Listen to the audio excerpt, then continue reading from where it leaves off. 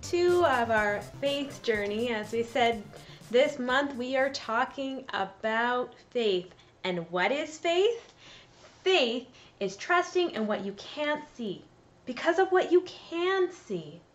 And so, as we were talking about last week, there are many accounts in, in the historical document, the Bible, that demonstrate what has happened throughout time, throughout history, how God has really encountered with people, met with people, and how people got to see Jesus live. They saw him die, but they also saw him raised to life again. While tackling on that point, uh, we're going to be talking about someone who wrote a lot of the New Testament. Some of you might know who this is. Uh, a man by the name of Saul. Now, originally, this man's name was Saul, and later he gets a name change, but we'll be talking about that in, in time to come. Um, but there was this this student Saul, and he was a real devout believer. He was a Jewish uh, believer, and he studied for quite a while with um, a really sought out teacher, Gamaliel. And, and he spent a lot of time uh, learning, course, the Torah and, and just studying and spent many hours. Well, of course, when Jesus was uh, living, then was crucified, and then the believers said that he had raised from the dead. A lot of the Jewish people at the time were struggling with this, uh, that they would claim that he was really the Messiah. They thought there was no way.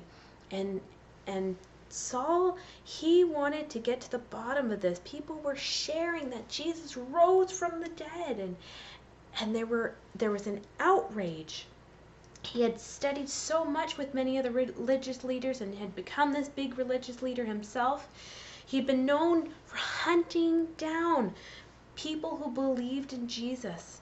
It sort of became a personal mission. He was bent and bound to hunt out these people and and to kind of say, no, no, no, no, this isn't right. You know that there's no way this happened. Um, and he would persecute them. He would have them uh, thrown in jail. And so this at this point in history, he'd asked Caiaphas, the high priest, if he could go to Damascus and investigate all these believers that were sharing the good news, and, and it was just spreading like wildfire. Well, he got his permission to do that, but something happened on the way to Damascus that he never would have expected. We look in the book of Acts, in the historical account of Acts, chapter 9 Verse 4 Suddenly a light from heaven flashed around him. And he, Saul, fell to the ground, and he heard a voice Saul, Saul, why do you persecute me? Who are you, Lord? Saul asked. I am Jesus, whom you are persecuting, he replied. Now get up and go to the city and you will be told what you must do. Now the men that were traveling with Saul stood up. They were speechless because they heard this sound, but they didn't see anyone. And then Saul got up from the ground, but when he got up and he opened his eyes, he actually couldn't see. You know, he couldn't deny what took place. He literally saw Jesus his friends led him to Damascus, and he stayed at the home of a man named Judas. And for three whole days, Saul was blind. He couldn't eat or drink anything. Saul just couldn't deny what took place. He saw Jesus. He had seen for himself that Jesus was alive. He was very, very much alive. Could it be that everything that Jesus' followers said was true was really true? Was Jesus actually the Son of God? This is what, what Saul was pondering. Saul's life dramatically changed that day. Even though he was now physically blind, it was like something had happened and he could he could finally see everything a lot clearer, even though he physically just he couldn't see, but but things made sense. He had been wrong the whole time, but it took him becoming blind to come to this conclusion. You see, knowing Jesus changes the way we see everything. Everything that Saul thought he knew about Jesus that day changed, and it would never be the same again. Remember our verse this month, Hebrews 11, chapter 1 says this Faith is being sure of what we hope for, it is being sure of what we do not see. But God gave Paul right here this opportunity to actually see Jesus, and then he became physically blind. You know, it's interesting. I, I know of people who are in other countries that have, have never been told about Jesus. That they say that they had never heard about Jesus, they had never heard about salvation, and yet they had an angel appear before them and share the good news. And they came into a relationship with God the Father and ended up becoming missionaries in the land they were. It's amazing when things like that happen. It's amazing when God shows up. And sometimes we need our circumstances to get to such a place so we can see clearly.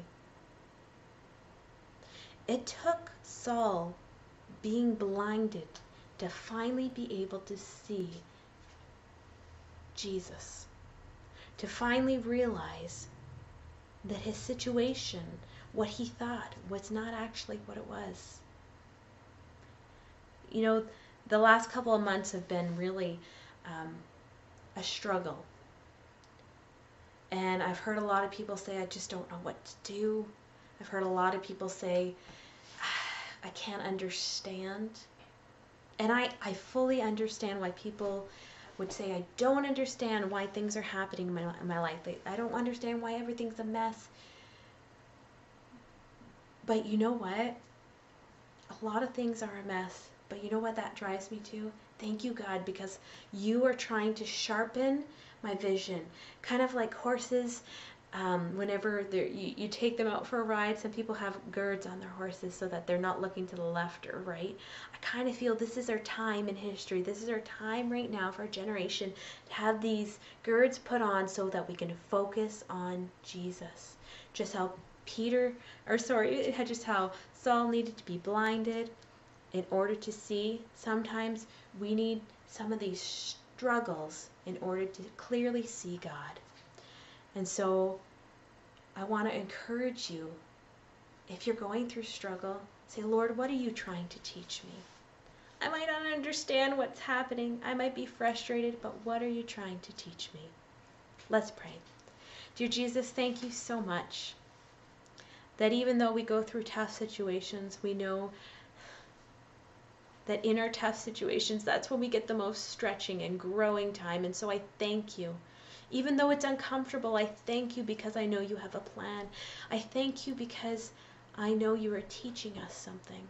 I pray that you would help us to keep our eyes on you, Father God, and do whatever is needed so that we could have a clear focus of what you are trying to speak to us. And I pray, Father God, in the days ahead, that you would open the eyes of our heart, that we would truly see you. In your most holy and precious name we pray. Amen. Well, we're not finished our time together. The song today is Leaning on the Everlasting Arms. And the reason I chose this is, is because life has struggles, but God has a plan. And in those struggles, we can grow. But we need to remember we're not alone. We can lean on the everlasting arms. This song says, What a joy divine! What a fellowship! Leaning on the everlasting arms. I'm leaning, leaning, leaning because I'm safe and secure. I am safe and secure from all these different harms because there's nothing that can harm my soul or my spirit because I'm leaning on the everlasting arms of Jesus. So let's join together and worship God, singing Leaning on the Everlasting Arms. Until next time, take care and God bless.